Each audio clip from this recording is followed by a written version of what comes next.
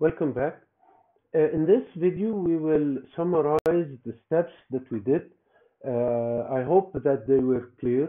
The summary will present uh, the general steps that we use in any finite element method that were demonstrated in the previous videos.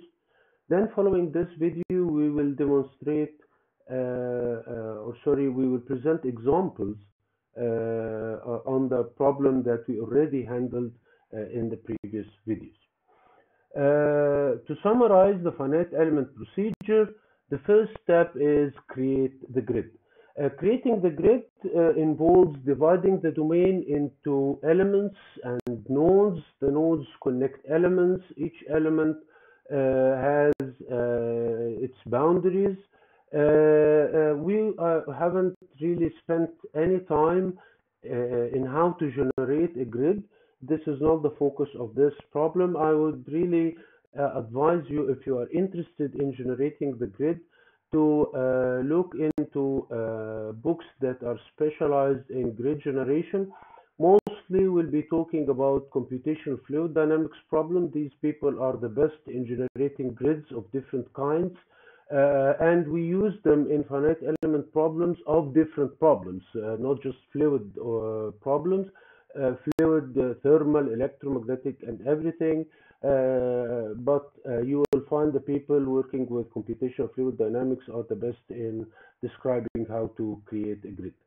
The second step is to uh, select the interpolation function or the order of the element, uh, finding out uh, how to generate the, the interpolation function uh, is only bounded by the admissibility conditions of the problem. The admissibility conditions uh, were introduced uh, when talking about the weighted residual method. anything above the admissible or anything that contains the admissibility conditions and further uh, can be used uh, to interpolate uh, the function inside the element.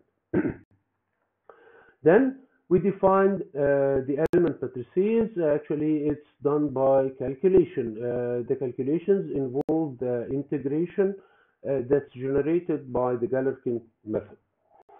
Following that, we assemble the elements of the different matrices.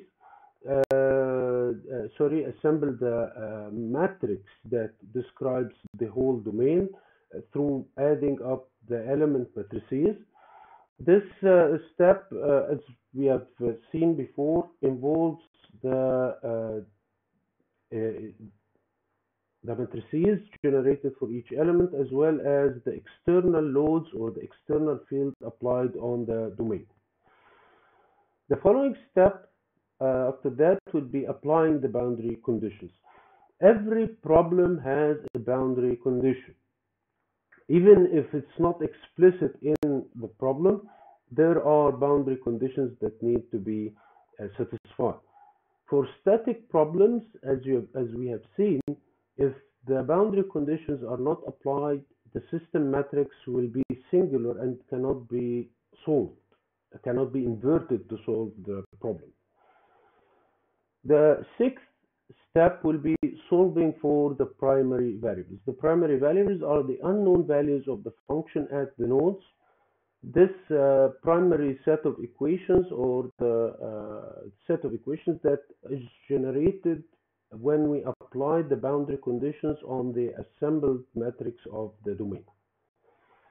The last step is uh, the if needed, we will evaluate the secondary variables. In many problems, actually, we will need to uh, evaluate the secondary variables. That's why the secondary set of equations is usually quite important. But in some special problems, these are not really of any interest, so we just ignore the secondary variables in the secondary equations.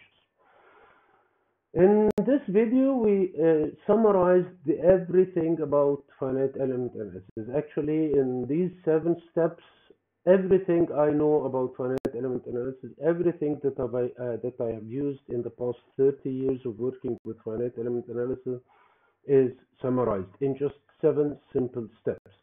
Each of them involves a lot of work. We have demonstrated them in one-dimensional problem In the following videos, we will be talking, we will be presenting uh, examples. Uh, the examples will use the elements generated in the um, finite element uh, model we've described for a bar. Uh, the same procedure is doable for every other problem in finite element analysis. I would encourage you very much to watch those examples in order to, again, to uh, get together using one language uh, and uh, using the same expressions to understand how we do things together. Uh, by the end of these examples, we will start looking at programming. Uh, how to generate a program or how to write a program to solve uh, sim these simple problems. And then we will kick off uh, from that point into a very wide area or a very uh, long